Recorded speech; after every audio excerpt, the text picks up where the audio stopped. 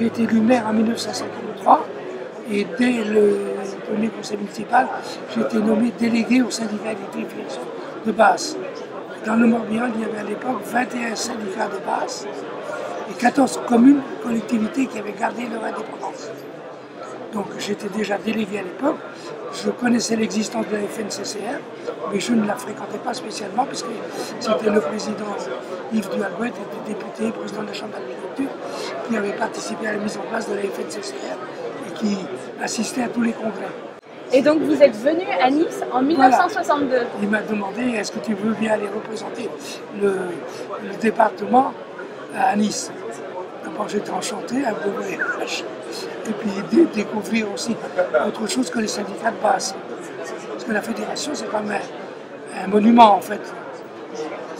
Est-ce que vous pouvez nous raconter en quelques mots le paysage électrique du Morbihan euh, dans les années 50-60 euh, au moment de votre... Bien, dans les années 50, il faut dire qu'il y avait encore 40% du département du Morbihan qui n'avait pas l'électricité.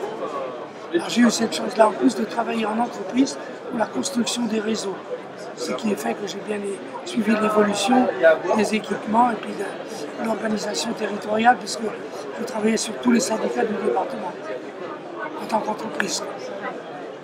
Et aujourd'hui, donc vous revenez avec euh, le syndicat du Morbihan à Nice. Qu'est-ce que ça vous fait? Ça me fait d'abord euh, un titre de reconnaissance à ceux qui m'ont succédé au président, en particulier qui était un grand ami. Et ça fait plaisir de ne pas être oublié en fait de revenir à Nice. Quand on m'a un petit peu demandé, j'ai dit oui. Donc des congrès en 1962, 2019, avec une évolution euh, importante euh, La comparaison est excessivement difficile à faire.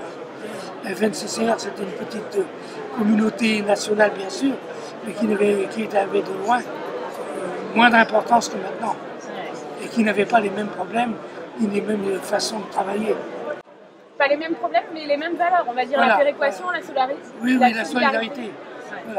Et la desserte globale, l'équilibre urbain-rural, euh, déjà c'était le problème de la FNCCR. Nous voulons et nous resterons, euh, aussi bien sur le département que sur la région Bretagne, parce que je suis également président hein, du pôle énergie Bretagne, cette solidarité, cette péréquation qui, à mon avis, est indispensable si on veut vraiment un développement de territoire. Là, par exemple, on vient de retenu au niveau national sur TIGA, hein, projet territoire d'innovation. 32 millions d'euros de projet. Donc cela veut dire que, c'est bien, 32 millions. Maintenant, il va falloir travailler. Hein, ces projets, il va falloir les bâtir. Ces projets, il va falloir les mener à terme. Euh, ces projets, le but, c'est bien sûr de les expérimenter. on a déjà choisi des collectivités pour les expérimenter. Je veux que demain, on puisse les mettre en place sur toutes les communes du Morbihan. Parce que j'ai défendu à Tiga le fait que nous n'avions pas de métropole en Morbihan, mais que l'ensemble du département, pour moi, est une, vraie métropole.